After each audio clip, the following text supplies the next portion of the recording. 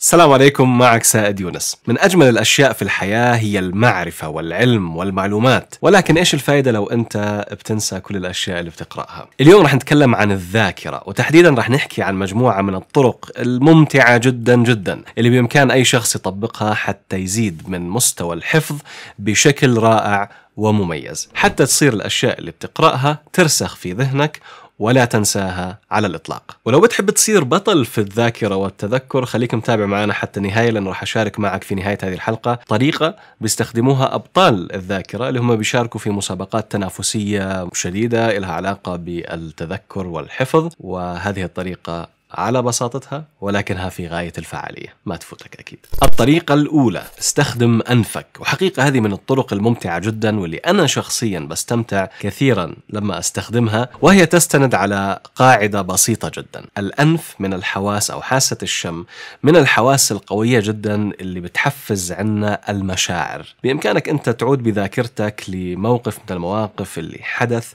وشميت فيه ريحة معينة ريحة مثلا طبخة معينة أو رائحة عطر معين أو رائحة جو معينة وهي الرائحة لما تشمها مرة ثانية مباشرة بتستحضر في ذاكرتك الذكريات لذلك الموقف. الآن كيف بدك تطبق هذه الطريقة؟ كيف بدك تفعل حاسة الشم؟ هذا يعود لإبداعك خليك مبدع. ممكن تستخدم معطرات جو مختلفة شموع بروائح مختلفة. يعني ممكن أنت تجيب عطور مختلفة ولكل مادة من المواد ترش عطر معين. الطريقة رقم اثنين هي استخدام قبضة اليد. وهاي المرة ما بدنا نستخدم قبضة اليد في القتال مع أي شخص ولا أنه حتى نأذي أي حدا لا. قبضة اليد بناء على دراسة علمية أجريت سنة 2013 أثبتوا فيها أنه قبضة اليد إلها علاقة بحركة أو نشاط الفص الأمامي الجزء الأمامي في الدماغ. يعني لما أنت تسكر قبضة إيدك بهذا الشكل لاحظوا زيادة النشاط في الجزء الأمامي من الدماغ. طبعا الإيدين الثنتين. ودرسوا الموضوع أكثر فوجدوا أنه واحدة من الإيدين بتعطيك زيادة نشاط بيساعدك في الحفظ واحدة من الإيدين بتعطيك زيادة نشاط بيساعدك في استرجاع ما حفظته يعني في التذكر. يعني لو أنت بتدرس الآن بدك تسكر إيد جهة من الجهات وفي الامتحان لما بدك تسترجع المعلومة بدك تسكر إيد الثانية أو الجهة الثانية. موضوع غريب جدا موضوع حقيقة لازم أنت تجربه حتى تشوف فعلا هل في فائدة بالنسبة لك أو هل تلمس له فعالية أو لا. وحقيقة كل الطرق اللي بنتحدث عنها بعض الأشخاص راح يلاقوها فعالة جدا وبعض الأشخاص راح يلاقوها مش كثير فعالة.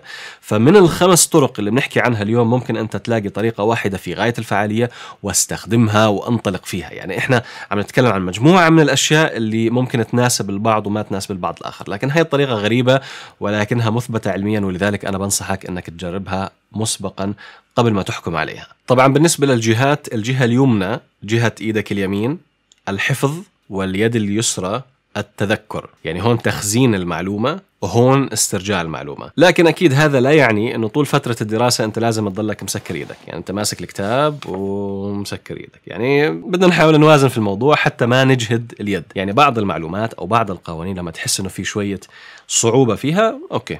بإمكانك هيك تسكر الإيد وتجرب. فعلا هل فعلا لما أنا أسكر إيدي بهي الطريقة مثل القبضة قاعد بحفظ أسرع أو لا. اختبر الموضوع بنفسك وارجع لنا على التعليقات وخبرنا إيش صار معك. متابعينا صديقي للنقطة التالية ولكن قبل هيك لو أنت بدأت تستفيد معنا وتحس بالطاقة الجميلة الموجودة في هذه الحلقة بدي أطلب منك طلب صغير أنك تحط like كبير تضغط على زر ال like بقوة حتى أعرف أنه هذا النوع من الفيديوهات بهمك استفدت منه بتحب تشوف فيديوهات مشابهة وحلقات مشابهة في المستقبل. like كبير ويلا نتابع. الطريقة الثالثة والحيلة الثالثة استخدم عين العقل. دائما بقول لك الواحد لما يعمل الإشي الصح هذا عمل عين العقل. طيب شو هي عين العقل؟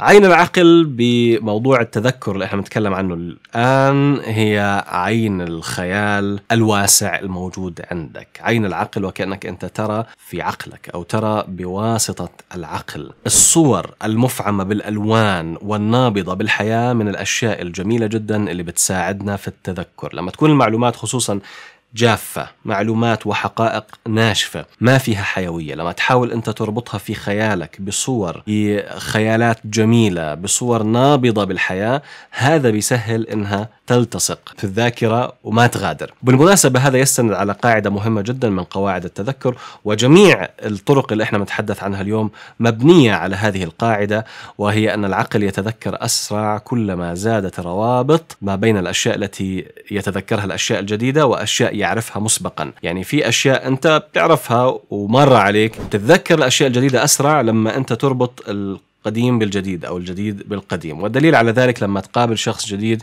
إذا كان بيشبه حدا بتعرفه مش حتنساه آه والله انه بيشبه فلان راح تتذكر اسمه راح تتذكر معلوماته لأنه خلاص صار في كونكشن صار في رابط معين بينه وبين شيء في الذاكرة عندك وبنفس الطريقة المعلومات. وهذا السر اللي بدنا إحنا نستفيد منه بالطرق اللي بنتكلم عنها اليوم. رقم أربعة قسم أو جزء المادة إلى أجزاء صغيرة أو لقم. زي كأنك أنت بتاكل وجبة ضخمة مش حتقدر تاكلها مرة واحدة. أنت محتاج تقسمها إلى أجزاء أو لقم. لقيمات عشان تقدر تتناولها. وهذا ممكن إحنا نطبقه مع مختلف أنواع المعلومات يعني حتى على مستوى الأرقام. بإمكانك أنت لو بدك تحفظ أرقام طويلة رقم طويل بدك تحفظه لما تقسمه إلى أجزاء هذا بيسهل عليك حفظه. ولو أنت كنت مبدع أكثر وحاولت تربط كل جزء مكون من عدة أرقام كل جزء ربطته بصورة معينة في عقلك فصار عندك أنت مثلا هذا الرقم يتكون من 20 خانة رحت أنت قسمته إلى أربعات. يعني كل أربع أرقام مع بعض يعني خمسة أجزاء. كل جزء ربطته بصورة معينة في عقلك. صار في عندك خمس صور. كل صورة تستحضر أربع أرقام. لاحظ طريقة شوي بدها إبداع وابتكار لكن أنت لما تتعود عليها بتصير سهلة جدا ولكن نتيجتها مدهشة. رح تلاقي أنك أنت مستحيل تنسى.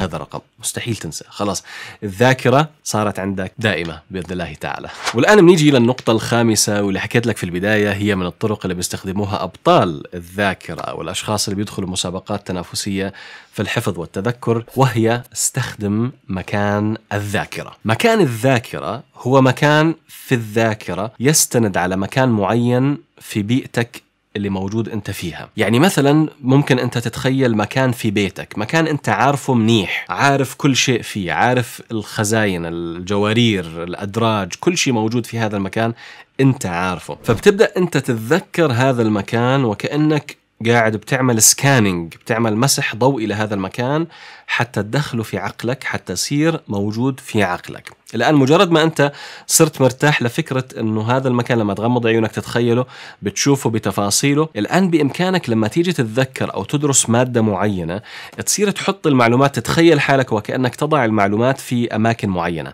يعني لو أنا مثلا متخيل غرفتي أو متخيل غرفة معينة في البيت أو حتى متخيل المطبخ وخزاين المطبخ بصير أتخيل أنه أنا مثلا مادة معينة بفتح درج معين وبحط المعلومات ذات العلاقة بتلك المادة في هذا الدرج أو في هذه الخزانة. مع التمرين راح تلاقي أنه الحفظ صار أسرع والتذكر صار سريع جدا جدا لأنه أنت صرت محترف في مكان الذاكرة اللي هو المكان اللي أنت ابتكرته داخل عقلك. وهذه الطريقة بالضبط اللي بيستخدموها أبطال الذاكرة في حفظ واسترجاع المعلومات بسرعة شديدة جدا. بصراحة الآن صار عندي فضول شديد أعرف أي طريقة من الطرق الخمسة اللي حكينا عنها اليوم عجبتك أكثر شيء. اكتب لي في التعليقات. طبعا ممكن تكتب واحدة أو أكثر لو أكثر من طريقة عجبوك. وبالمناسبة يا صديقي من أكبر التحديات اللي بتواجه أي شخص يحفظ أي شيء إنه بينسى.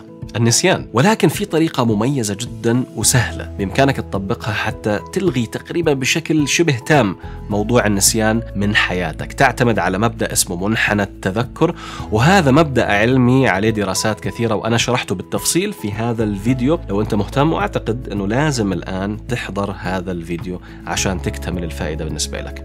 اضغط على الفيديو وبشوفك هناك. السلام عليكم. سائد يونس.